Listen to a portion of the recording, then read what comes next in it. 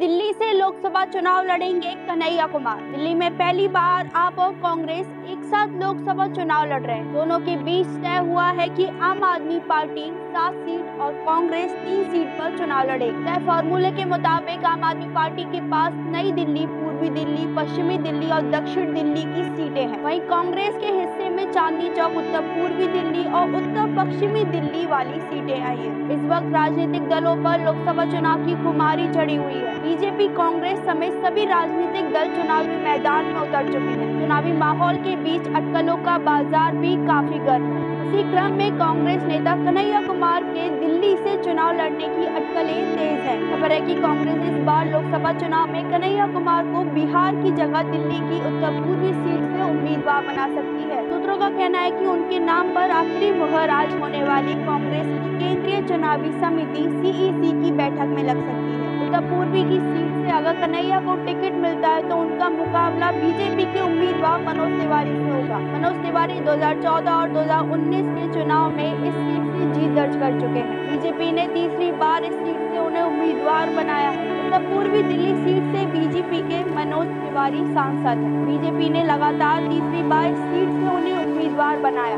वहीं इस सीट पर बीजेपी को टक्कर देने के लिए कांग्रेस कन्हैया कुमार को कैंडिडेट घोषित कर सकती 2019 में कन्हैया कुमार ने लेफ़्ट के टिकट पर बिहार के बेगूसराय से चुनाव लड़ा था। उस टाइम बीजेपी ने केंद्रीय मंत्री गिरिराज सिंह को मैदान में उतारा था। ऐसे में बेगूसराय में कन्हैया कुमार को हार का सामना करना पड़ा था। कन्हैया कुमार सितंबर 2021 में लेफ़्ट छोड़कर कांग्रेस में शामिल हो गए। आपको बता दें 25 अप्रैल को सूचना जारी होगी। पर्चा दाखिल करने की आखिरी तारीख 6 मई है और सात मई को नामांकन पत्रों की जाँच होगी। के बाद नौ तारीख तक पर्चा वापस लिया जा सकेगा और 25 मई को सीटों पर वोटिंग होगी। के बाद 4 जून को नतीजे आएँगे। कैसी लगी आपको ये जानकारी? कमेंट बॉक्स में ज़रूर बताएँ। चैनल को लाइक और सब्सक्राइब करना ना भूलें।